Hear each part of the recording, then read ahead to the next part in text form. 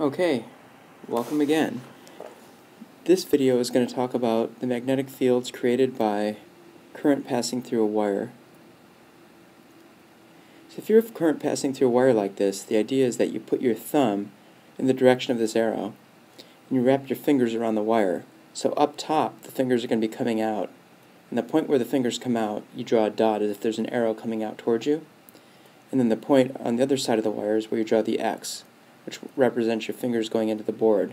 So the magnetic field um, is represented by uh, circles that come out of the board here, go into the board here, and then back out again. It's hard to draw it in three dimensions, but let this be your guide. It comes out there, in here, out, in, etc. throughout the wire. So basically, the wire is the center of uh, sets of cylinders of magnetic field lines that are coming out from the top and coming in down here. And of course, as you get further away, the strength of the magnetic field gets weaker, so I draw fewer field lines that are further out. Okay?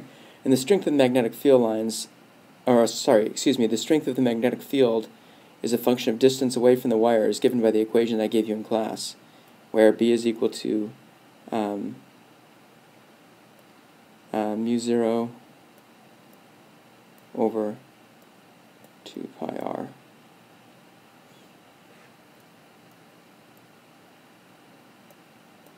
For a wire where r is the distance from the wire. I'm sorry, mu 0 i.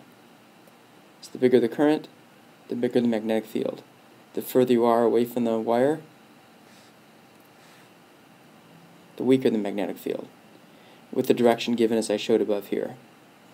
Now, if you wanted to create a uniform magnetic field, uh, the way you did that, as we saw in lab and as we talked about, is uh, you create a bunch of coils of wire.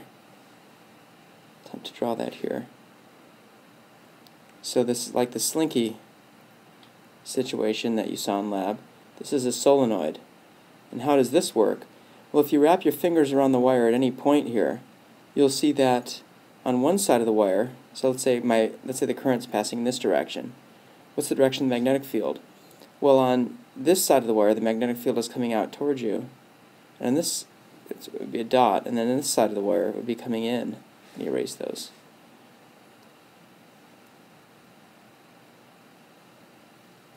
So on this side it would be a dot, and this side it would be coming in.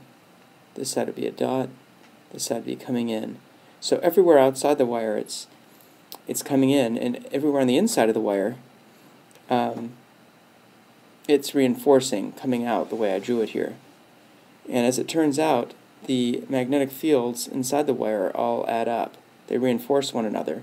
Whereas outside the wire, um, they're going to cancel each other out, basically. So the electric field outside the wire is basically zero. So essentially, it's hard to draw it on the board. You have to think about it, but the magnetic field outside the wire is basically zero. So if you play with these thoughts, you'll, you'll get to see that. Um, but inside the wire, it reinforces. Whoops.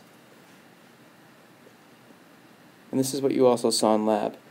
So the strength of the magnetic field is given by B is equal to mu 0 times um, capital N divided by the length times I, where I is the current, N is the number of loops,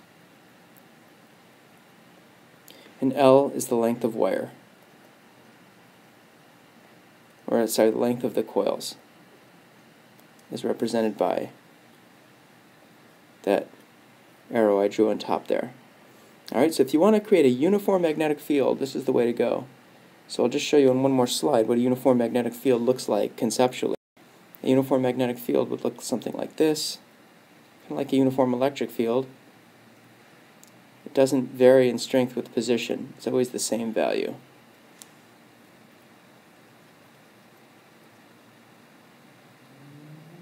And what does it mean to have a magnetic field, whether it's uniform or not? It means that if you put a compass here, the, the, the arrow of the compass would line up with the direction of the arrow of the magnetic field. But it says nothing about the motion or the force that a charge would experience if placed there. So if you put a compass anywhere in this uh, on this figure here, the, the uh, arrow of the compass would line up with the direction of the magnetic field as you can see here. Okay, that's enough for this video. The next video I show you will talk about the effect of a magnetic field on a charge. How does a magnetic field affect the motion of a charge? Okay.